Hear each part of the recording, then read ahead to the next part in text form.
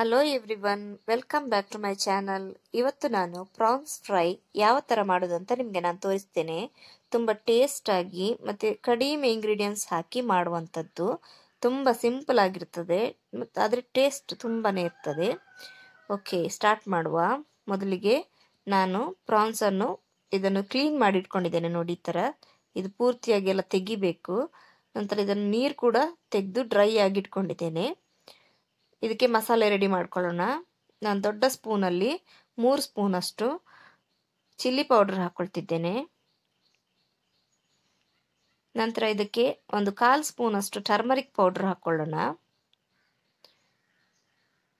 ನಂತರ ಇದಕ್ಕೆ ಎರಡು ಲಿಂಬು ಹಾಕ್ಕೊಳ್ತಿದ್ದೇನೆ ಎರಡು ಲಿಂಬು ಇದು ರಸ ತೆಗೆದು ಹಾಕ್ಕೊಳ್ತಿದ್ದೇನೆ ಅದು ದೊಡ್ಡದಿರೋದರಿಂದ ಸ್ವಲ್ಪ ಹುಳಿ ಮತ್ತು ಖಾರ ಸ್ವಲ್ಪ ಜಾಸ್ತಿ ಬೇಕಾಗ್ತದೆ. ಒಂದು ಸ್ಪೂನಷ್ಟು ಸಾಲ್ಟ್ ಹಾಕ್ಕೊಳ್ತಿದ್ದೇನೆ ಸಾಲ್ಟ್ ನೋಡ್ಕೊಂಡು ಹಾಕಿ, ಎಷ್ಟು ಟೇಸ್ಟ್ ನೋಡಿಕೊಂಡು ನೀವು ಹಾಕಿ. ನಂತರ ಇದನ್ನು ಡ್ರೈ ಆಗಿ ನಾನು ಕಲಸ್ಕೊಂಡಿದ್ದೇನೆ. ನೀರು ಹಾಕಲಿಕ್ಕಿಲ್ಲ. ಯಾಕಂದರೆ ಪ್ರಾನ್ಸಲ್ಲಿ ನೀರು ಬಿಡ್ತದಲ್ಲ, ಅದಕ್ಕೋಸ್ಕರ. ನಾನು ತೋರಿಸ್ತೇನೆ ಮತ್ತೆ ನಿಮಗೆ ಕಲಸಿದ ನಂತರ ಯಾವ ಥರ ಆಗಿರ್ತದೆ ಅಂತೇಳಿ ನೀರು ಬಿಟ್ಟು.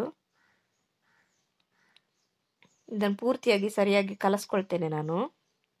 ಡ್ರೈ ಆಗಿ. ನೋಡಿ, ಈ ಥರ ಬಿಟ್ಕೊಂಡಿದ್ದೀನಿ ನೀರು. ಚೆನ್ನ ಚೆನ್ನಾಗಿ ಮಸಾಲೆ ಹತ್ಕೊಂಡಿದ್ದೆ ಅದಕ್ಕೆ. ಈಗ ಹದಿನೈದು ನಿಮಿಷಗಳ ಕಾಲ ನಂತರ ಇದನ್ನು ನಾನು ಫ್ರೈ ಮಾಡ್ಕೊಳ್ಳಿಕ್ಕೆ ಹಾಕ್ಕೊಳ್ತೇನೆ ತವ ಬಿಸಿ ಮಾಡಿದ ನಂತರ ಇದಕ್ಕೆ ತೆಂಗಿನೆಣ್ಣೆ ಹಾಕ್ಕೊಂಡಿದ್ದೇನೆ ತೆಂಗಿನೆಣ್ಣೆ ಬಿಸಿ ಆಗುವಾಗ ನಾನು ಬೆಳ್ಳುಳ್ಳಿಯನ್ನು, ಒಂದು ಎರಡು ಗೆಡ್ಡೆಯಷ್ಟು ಬೆಳ್ಳುಳ್ಳಿಯನ್ನು ಕಟ್ ಮಾಡಿ ಹಾಕ್ಕೊಂಡಿದ್ದೇನೆ ನೋಡಿ, ಇದು ಬಣ್ಣ ಈ ಥರ ಬರುವಾಗ ಬೆಳ್ಳುಳ್ಳಿಗೆ ನಾನು ಒಗ್ಗರಣೆ ಸೊಪ್ಪು ಹಾಕ್ಕೊಳ್ತಿದ್ದೇನೆ ಇದನ್ನು ಚೆನ್ನಾಗಿ ಫ್ರೈ ಮಾಡ್ಕೊಳ್ಳೋಣ.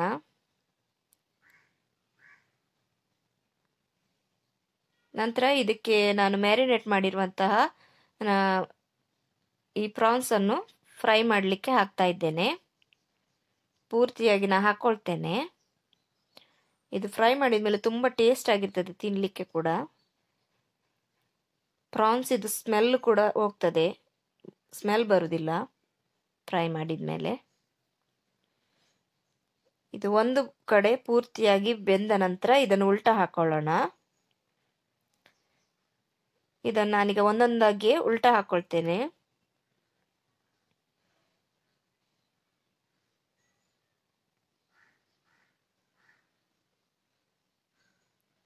ಇದು ಪೂರ್ತಿಯಾಗಿ ಬೇಗನೆ ಉಲ್ಟಾ ಹಾಕೊಂಡು ಬಿಡ್ತೇನೆ ನೋಡಿ, ಉಲ್ಟಾ ಹಾಕೊಂಡಿದ್ದೇನೆ.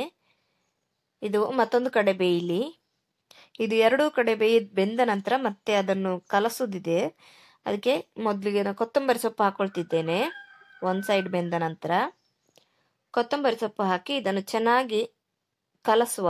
ನೋಡಿ ಈ ಥರ ಇದು ಚೆನ್ನಾಗಿ ರೋಸ್ಟ್ ಆಗಬೇಕು. ತವಾದಲ್ಲಿ ಇದನ್ನು ಈ ಥರ ಒಂದು ಐದು ನಿಮಿಷಗಳ ಕಾಲ ಕಲಸ್ತಾ ಇರಬೇಕು. ಮಿಶ್ರಣ ಕರೆಕ್ಟಾಗಿ ಬೇರಿಬೇಕು.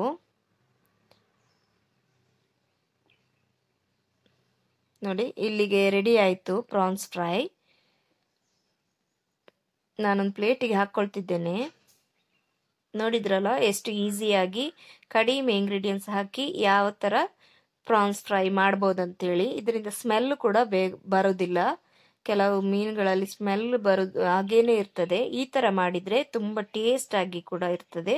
ಮತ್ತು ಸಿಂಪಲ್ ಕೂಡ ಮಾಡಲಿಕ್ಕೆ. ಓಕೆ ಇವತ್ತಿನ ನನ್ನ ಈ ರೆಸಿಪಿ ನಿಮಗೆ ಇಷ್ಟವಾದಲ್ಲಿ ನನ್ನ ಚಾನಲನ್ನು ಸಬ್ಸ್ಕ್ರೈಬ್ ಮಾಡಿ, ಮತ್ತು ಶೇರ್ ಮಾಡಿ, ಮತ್ತು ಲೈಕ್ ಕೊಡಿ. ಎಲ್ಲರಿಗೂ ತಿಳಿಸಿ. Okay thank you